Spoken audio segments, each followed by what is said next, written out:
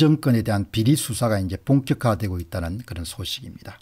문재인 정권의 불법 비리 부정 수사에 대한 부분들이 예. 이제 진용을 정비한 검찰이 이재명 관련 불법 비리 그리고 문재인 정부 관련 불법 부정 의혹 사건을 본격 수사하고 있다. 예. 수사의 초점은 윤석열 정부가 지난달 단행한 역대 최대 규모의 중간 간부 인사로 자리를 옮기는 차장 부장급 검사들이 7월 4일 새 보직에 부임했다. 윤석열 정부는 중간 간부 인사에 앞서 이루어진 두 차례 검사장급 인사에 대검 간부와 각 검찰청 수장을 교체했다.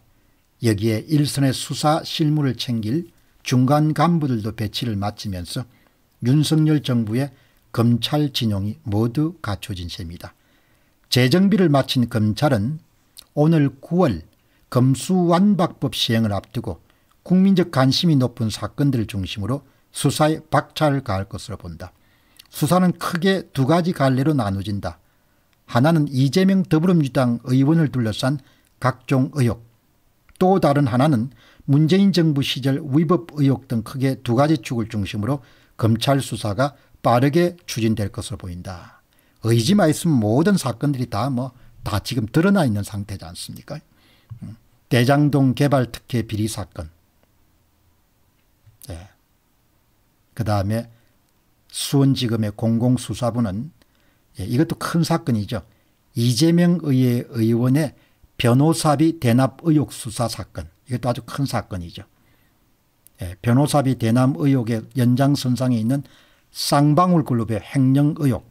예, 이런 사건들 여러분이 이미 다 아시는 그 다음에 이제 서울중앙지검 공공수사 일부가 해양수산부 공무원 이대준 씨와 관련, 관련한 사건 서울동부지검이 산업통상자원부 블랙리스트 의혹 사건 대전지검이 월성원전 1호기 경쟁평가와 관련된 사건 이런 사건들을 하나하나 조사하고 특히 이제 특히 정권이 바뀌어 놓으니까 이재명 그런 의원의 성남FC 축구 구단 소위 기부금 유용 의혹에 대해서는 뭐 이 분당 경찰서 차원에서 그동안 수사가 이루어졌지만 상급 기관인 경기 남부청이 이제 수사를 하겠다. 강도 높은 수사를 하겠다는 것이죠. 경기 남부 경찰청 반부패 수사대는 경기도청 법인카드 유용 사건, 백형동 아파트 개발 사건, 경기주택 도시고사 합수성 비순 캠프 의혹 뭐 이런 것을 다 하니까 이제 뭐 다 드러나겠죠. 예. 권력이 바뀌면 다 드러나게 돼 있지 않습니까? 아무리 뭐 이리 뛰고 저리 뛰고 하더라도. 근데 이걸 다 이런 보더라도 대한민국의 가장 중요한 사건이 지금 언급이 안 되는 거죠. 예. 전혀 언급이 되고 있지 않습니다. 그 사건은 바로 예, 이뭐 기대를 참 모았지 않습니까? 2021년도 7월 13일 기사입니다. 예, 7월 13일 기사. 자, 월성 1호기 경제성 조작 때문에 여러분들 소신껏 수사를 하다가 좌천돼서 인천지검장으로 가 있던 고두봉 예, 고두봉 기자가 예, 배춘입 관련 사전투표제 수사를 대통령 선거가 끝나게 되면 재개하겠다 뭐 이런 내용을 우리가 접한 바가 있는데 이번에 이제 다시 또 인천지검을 떠나서 다른 곳으로 이렇게 어, 전환 배치가 됐기 때문에 그냥 대략 그냥 묻히는 걸로 그렇게 보이는 거죠.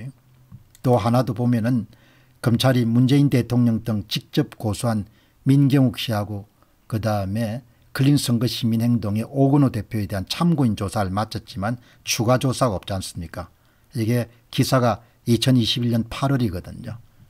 선거 사범에 대한 검찰 수사는 2021년도 7월하고 8월이 마지막이고 그 이후에는 일제 수사 진척 사항이 지금까지 외부로 드러난 적은 없는 겁니다. 더 많은 분들이 이제 감사원 수사에 대해서 기대를 갖고 있기 때문에 감사원에 정말 공병호가 아니라 유병호 신임 사무총장이 어깨에 큰그 짐이 걸려 있기 때문에 공직자로 소신껏 예, 탈원전 수사를 문재인 정권의 방해도 불구하고 해냈던 것과 마찬가지로 그렇게 좀 해낼 수 있었으면 좋겠다. 이렇게 생각합니다. 아무튼 대선 이후에 이 문제를 다시 들여다보겠다. 이것이 인천지검의 입장이었습니다.